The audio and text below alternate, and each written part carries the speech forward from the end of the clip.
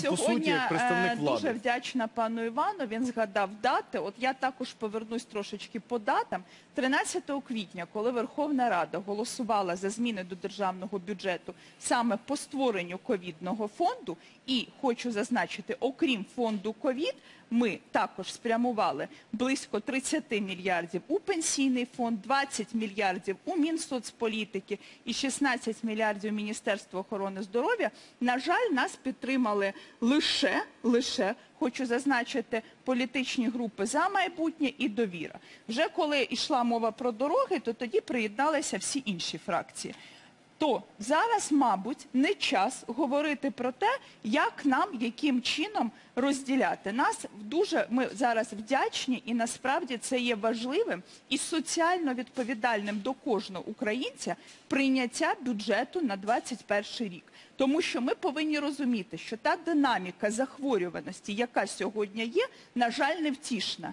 І Хочу зазначити, що на Міністерство охорони здоров'я, хоча на моє глибоке переконання, ми повинні дотриматись норми закону і дати 5% від ВВП на медицину, як то закладено. Але сьогодні 4,2 є реально найбільшим показником витрат на медицину, які були в історії незалежної України. Я дуже вдячна фракції Батьківщина, яка віднеслась до цього виважено, прийняла правильне політичне рішення і проявила свою готовність до дій. У мене особисто є питання до проекту державного бюджету.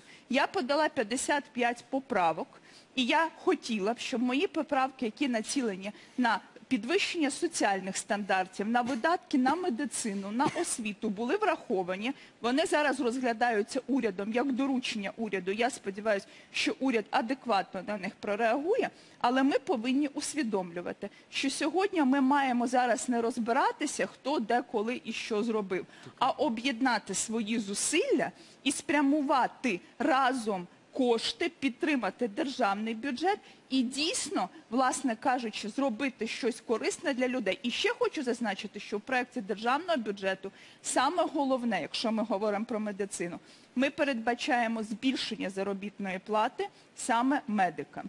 Заробітної плати такої, щоб вона була конкурентно спроможною. Тому що те, що ми спостерігаємо по всій Україні, це не відсутність йдеться? пан Роман ліжкомісць. Це відсутність, в тому числі і фахівців, які внаслідок такої в певній мірі руйнівної політики по відношенню до медицини за останні роки перестали працювати ефективні кваліфіковані лікарі. Ми руйнували, тепер є намагання Ну, так, відновити. ну, Ми маємо лікарям нарешті дати гідні умови життя. І саме цей державний бюджет дозволить лікарям надати гідні умови життя, і лікар то буде професія, яка буде мати достатній рівень Пані Лесі, ми вже дуже багато років в українському суспільстві, в політиці говориться буде, буде, буде, буде.